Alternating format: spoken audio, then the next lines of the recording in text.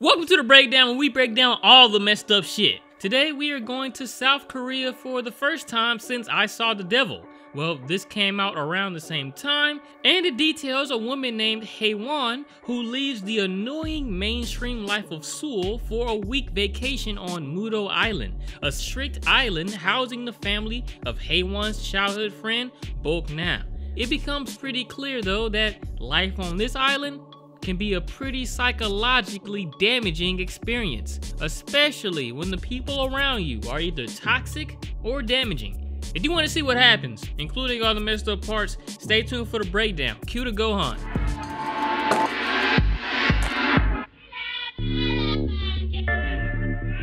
The movie starts out with a radio show or something like that. An announcer is basically recounting a joke about vegetarians.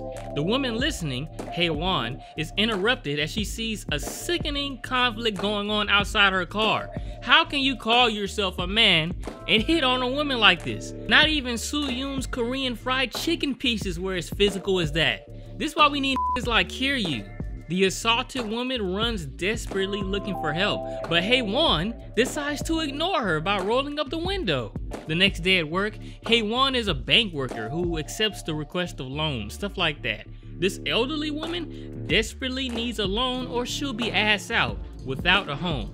Haewon ignores her request by offering less and shouts at her loud as hell, attracting attention. She literally even leaves after she gets a phone call. My first job was working at a place like Chuck E. Cheese, but with more physical games. And anybody working in retail or stuff like that knows fully that they would love to let loose on some customers like how Haewon did here, but we would have been fired in a heartbeat. Haewon need to get her ass fired from acting like that. Haewon drives to her destination, but gets a call from someone really close. It could be her mom or something, but she hangs up just as quick. The place she was going to was the police station because she's been identified as being able to show that she witnessed the assault last night and saw the men clearly. Her ass lying, talking about she didn't see the men clearly. Helen Keller would have saw them men clearly. Her guilty conscience makes her give the authorities one detail though, the fact that one of the men had a skull ring. Warning, bloodied assaulted victim photo ahead. The police show that might be decisive, but the wounds are inconclusive. After, she tells the police don't call her back and walks back to the car. I hate Haewon, selfish ass. Now you got two leftovers from a sick experiment released back into public. Soon, presumably the father of the beaten girl runs out towards them, shouting that they are guilty and such, but the man also sees Haewon and begs for her to admit she surely saw them. This uproar just lets the men know what little piggy came in to squeal on them. See, this is where you fucked up. It, you, you don't just run the ass over, and you didn't even lock the door. How you gonna be selfish and stupid? They just threaten her, but even then, she tells the police that she didn't want to talk. I don't understand her big deal about being so uninvolved. I mean, it's not like she didn't want to snitch or something. It just seemed like she just didn't want to care. Back at work, she discovers her colleague has helped the old lady by giving her the loan she needed. Angered, Haewon tells her off by implying that she should stay in her place, and that being all flirty with the manager won't save you from messing up. She does feel bad about it though, I'm not gonna front but there are a lot worse things to feel bad about. so she texts her coworker an apology and asking to get drinks, but notices her coworker actually outside of the bathroom stall. Once she's ready to get out, she notices she can't get out because a stick is blocking the door. Her ass had to Tomb Raider her way out of the stall, just ending up breaking her shoes and looking more like she was getting busy in that bathroom. She leaves mad as hell, and as soon as she sees her colleague, she slaps her in front of the whole office. But to her surprise, she judged too quickly, cause this janitor lady, wearing the same shoes as her coworker, was the one who accidentally left the stick on the bathroom door. Makes a lot more sense, huh? The boss brings her in and suspends her from the job, telling her to take a vacation. Uh, that's it, sir. I mean, I think I can speak for all of us working in retail type jobs that if I yelled at an old lady, I would have been fired on the spot. And trust me, there is plenty of times where I would have loved to yell. She soon gets home, and I admit she is not admirable to me at all. Spoiler alert. I mean, she uh, she bad as hell, but ignoring assault, Lying about the perps, shouting in anger, that's whack. But you gotta notice, she's just having bad things happen to her right after. If only that happened more in real life. Okay, I'm done shitting on her for now. The superintendent delivers her letters since she left her box filled up. Looking through, she notices many letters from someone named Boknam, but she purposefully throws them away. All night long, she considers her situation while drinking can upon can of beer. It hits her though that perhaps she should visit the island where she grew up, Mudo Island. It's also where her old friend Boknam lives. She gets on a boat to visit Mudo Island, and she was quite popular in that area she grew up in. Even the boat driver recognizes her. We cut to a flashback of Haewon and her lonely friend, Boknam. This flute is a very powerful prop of their friendship, at most for Boknam. A cool transition reveals Boknam's tan ass happy at her old friend's arrival. I love that tan and that energy, but later we'll learn that excitement is not just because she's seeing an old friend.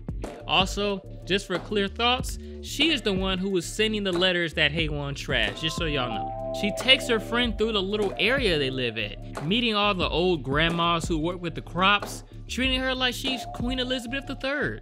Also, here's Manjong, Boknam's husband, and her brother-in-law, Chuljong.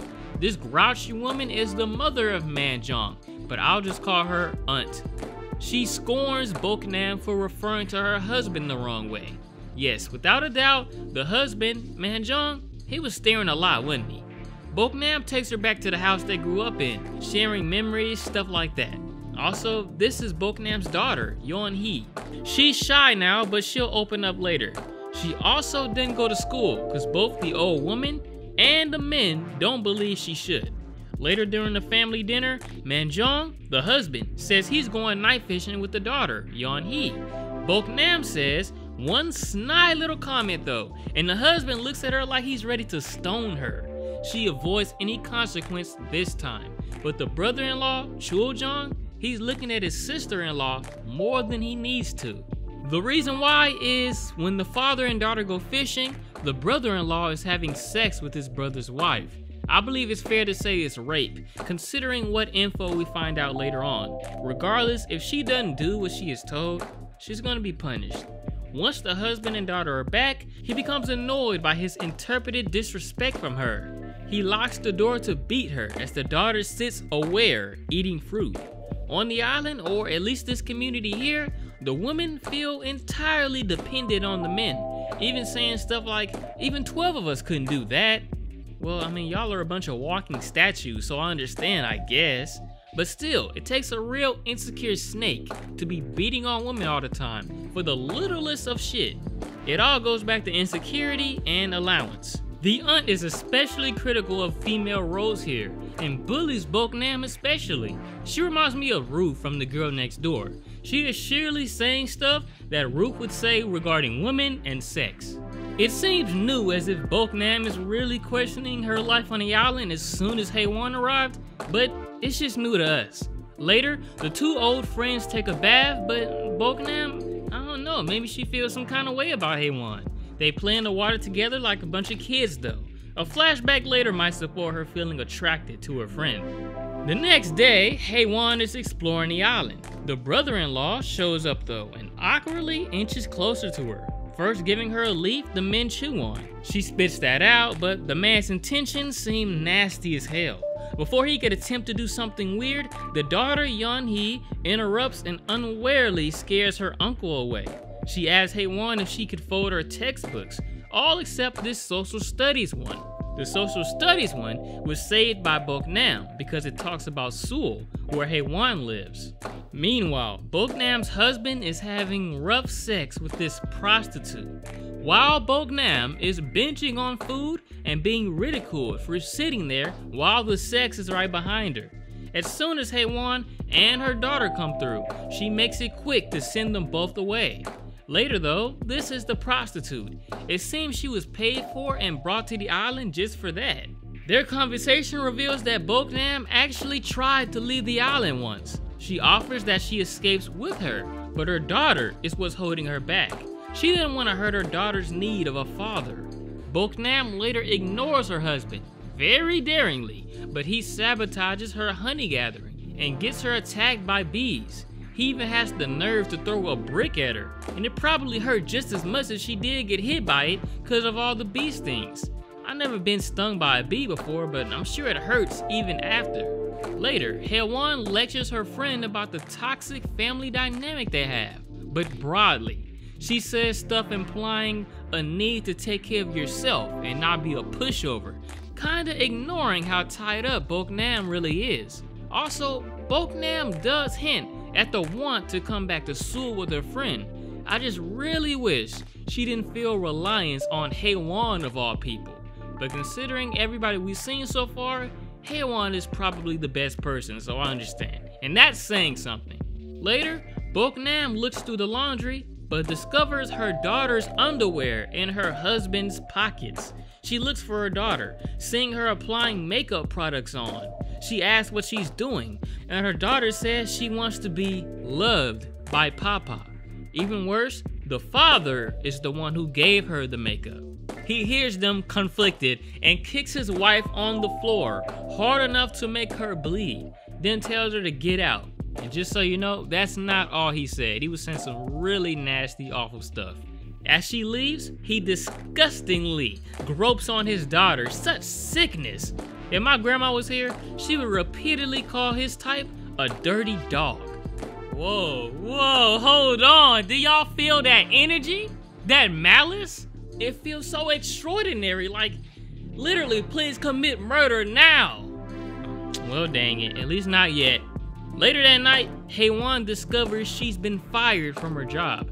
Bad and good, because now she feels that she's able to turn a new leaf. While she packs to get on the boat, she discovers an odd Boknam contemplating a few feet away. She soon sees the wounds on Boknam's face. She begs to come to Seoul with her, along with her daughter, but she says no, not yet.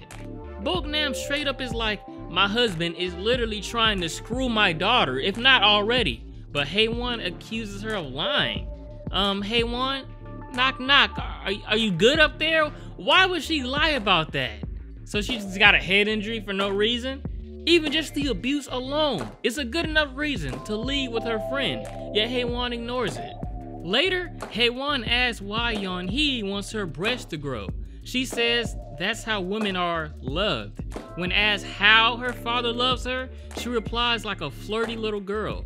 Well, I guess she is that. Soon, the aunt comes and has Yeonhee dragged away. The aunt conflicts Haewon, saying stuff like Boknam is just a beggar, and also Yeonhee isn't actually the husband's daughter. So in other words, Yeonhee is Boknam's daughter, but not related to the husband. Even still, that's gross. He's a sex predator. Later, again, we see Boknam stealing money from her husband's pockets. Money that should actually be in her pocket, considering all her hard work. She's beginning to attempt to escape again, and yes, she has lost all reliance on Haewon. She instead calls that prostitute to help her escape. Later that night, she slept with one eye open. Once everybody is asleep, she grabs her daughter and they get ready to run away to the mainland. At first, her daughter didn't want to go, but after realizing her mom would be abused forever, she thinks it's the best idea to leave this island for good. Also, here comes the boat with the prostitute on it. She gives the boat driver the money, right when the husband realizes what's going on and pops up. The boat driver won't leave though until he has counted all of the money. He is definitely in cahoots with the husband. Ultimately, Boknam's escape attempt is foiled. She is dragged through the area, being beaten, which is being instigated by the aunt. Also, the prostitute is dragged away by the mute uncle and possibly raped off screen. It's the last we see of her too. Things get pretty hectic. Even the father beats his daughter for interfering. In an argument with all the old women, Boknam reveals she shouldn't have to be so submissive. She doesn't even know who the father of her daughter is because she was raped by multiple men. When Yeonhee tries to stop the vicious beating, he pushes her away, but she falls and hits her head on a rock, killing her. Even worse, he doesn't even really care, saying she'll be alright with some bean paste. This is a pretty emotional part of the movie, as everybody circles around watching Boknam cry in pain. I don't think I've seen a scene such as this throughout. Why am I lying? I was finna say, I was finna say, I don't think I've seen a scene like this. Why am I lying? This next scene probably pissed off everybody who watched. An investigator comes regarding the death, but everybody lies about what occurred, trying to place the blame on Boknam, even lying about Yeon Hee as she lays dead in the next room. Haewon says that she was asleep the whole time, and Boknam reacts broken and sad. Haewon then tries to catch the boat back to the mainland, literally stepping on her friendship with Boknam. The old ladies even tell her what she should be doing, consoling her friend. Them old ladies are whack as hell, and they got the right idea. Later, Boknam fixes some food for Haewon, and the brother-in-law delivers it to her. However, really, he drugged it. He breaks into her room to check and assaults her until Boknam comes in. She has a weapon though. Without a doubt, their relationship is broken. If this happened before all the conflict, then Boknam would have been more angry. We cut to another flashback. It connects to that naughty little event with Boknam and Haewon in the bath. Haewon plays the flute again, but also playfully kisses Boknam.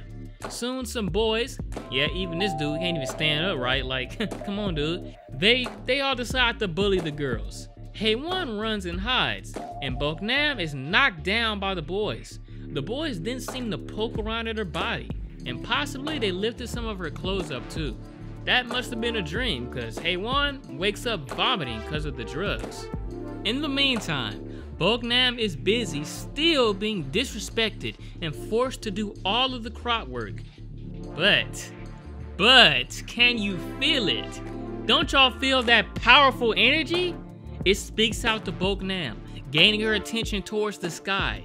This energy is the power of original all-powerful Jennifer Hills, speaking to her, telling her, you don't need to take this bullshit. You ain't got shit to lose. Brutalize everybody and make them all suck it. The annoying grandmas can feel it too. First, she goes to get an unwelcome drink of water, grabs a sickle, and kills one of the old ladies as they watched. This old man is like some mute sick man. Wikipedia says he has Alzheimer's. She then murders another woman crawling away. She skips the old man and goes for the last woman, saying, I ain't gonna hold back. She's using the words that they told her before she got started working on the crops. Y'all can't tell me that's not Jennifer Hills influencing her. The aunt discovers the bloodshed and hides in the field all night long to escape from her eventual death. The next morning, Boknam readies and sharpens her murdering tools, taking scissors right to the old man, but she just gives him a fresh ass cut. She stops though cause she hears Haewon screaming, who is grabbed by the paranoid aunt. Boknam creeps on them though, knocking Haewon's ass out. They knew what they was doing with this part, cause now the elegance surrounding Boknam is eerie, almost Michael Myers-like as she chases for the aunt. Anyway, she chases her to the edge of a cliff. Can you fucking Sparta kick this bitch off now? Oh well, never mind. She'd rather die by her own hand. Boknam looks over like, damn. She ain't gonna be in the... Boknam looks over like, damn. She ain't gonna be in Bedevilled too. Just kidding. She just said, you should've wore your glasses, auntie. Next, Boknam goes towards the brother-in-law. He gropes her unaware of what she really has in store for him. She slowly uses the sickle to decapitate him and holds his head by the hair like it's a lantern. She has a witness though, Haewon. Boknam decides to just trail her behind. Without a doubt, I do feel like Boknam is going to murder Haewon. Meanwhile, the husband and the boat guy just got back from a business trip, discover the head and right before Boknam can attack him, he dodges because of interference from Haewon. Long story short, she loses this battle and is tied up and brought back to the home to be beaten by the husband, this time in front of Haewon. The husband blames Boknam for all the abuse, saying she never reached out to him or cared. The best thing Haewon has done so far in this entire movie is threaten to call the police if he kills her, but he just takes her hostage. Boknam, she ain't afraid of dying no more, and does something very Jennifer Hills like. She pretends to reach out to him, calling him honey, and licks all over his fingers in a way he has never felt before. But that's just the rules. She bites his finger hard as hell, hard as she can, grinding on that shit too.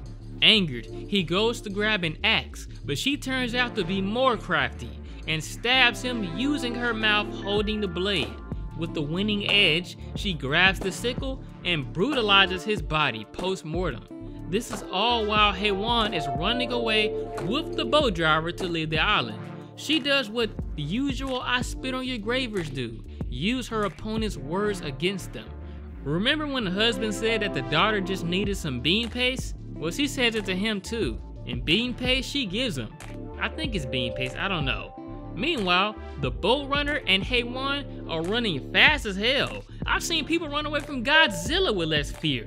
Ultimately, Haewon ends up leaving the man behind, and Boknam, leaving the man to be massacred underwater like Jason's down there. So, that was the end of the island massacre. We get one last view of the husband's body before it fades to black. Sometime later, possibly days, or perhaps even the next day, a boat is called to the island. This time, it was Boknam who called them, but she kinda looks like a clown, I'm not gonna lie.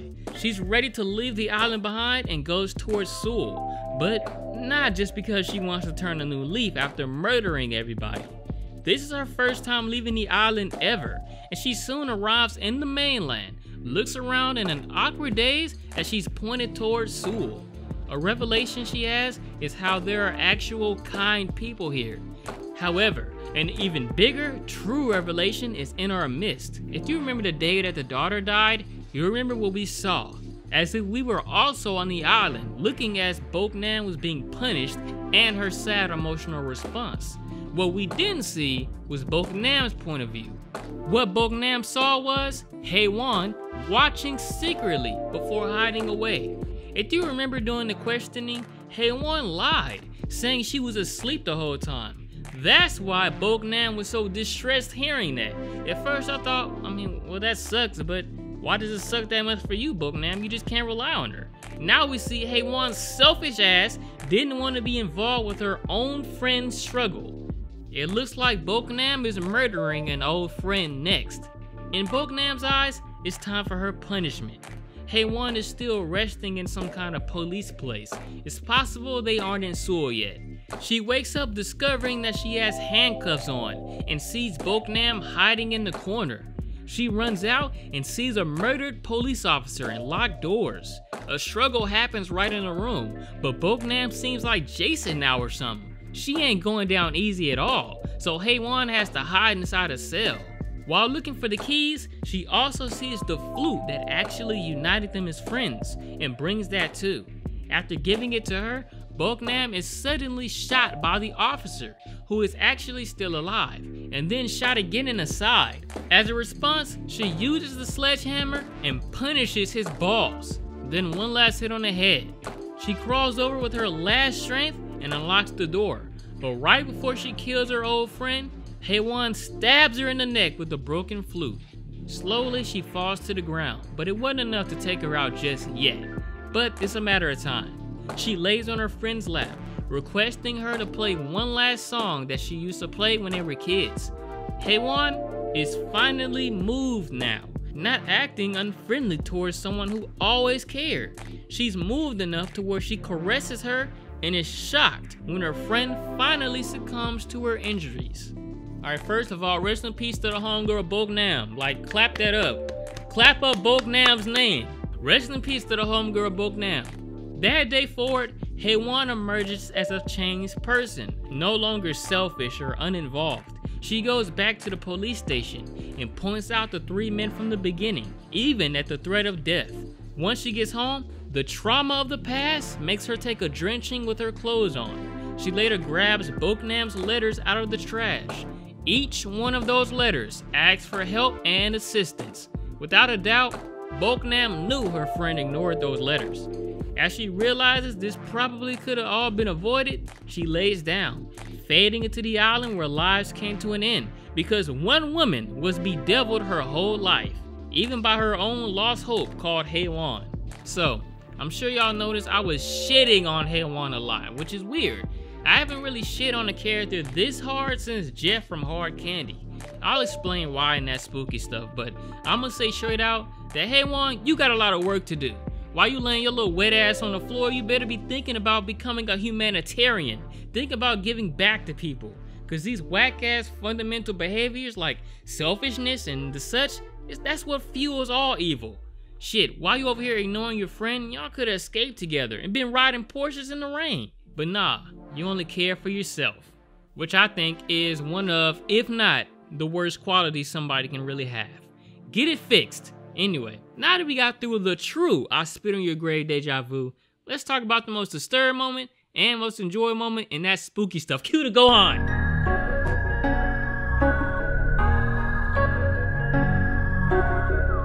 first back to what I was saying, Haewon was not getting a break from my verbal assault. However, I don't usually talk bad about dislikable people. Like, I didn't talk so bad about the ultimate depravity from Salo or the director enemy from a Serbian film. The reason why I was a bit more vocal about Haewon was because her personality overshadowed what she does. They certainly go hand in hand, sure, but at the end of the day, Haewon isn't the director from a Serbian film. She isn't some depraved child molester. She is just she is just still a relatively normal citizen.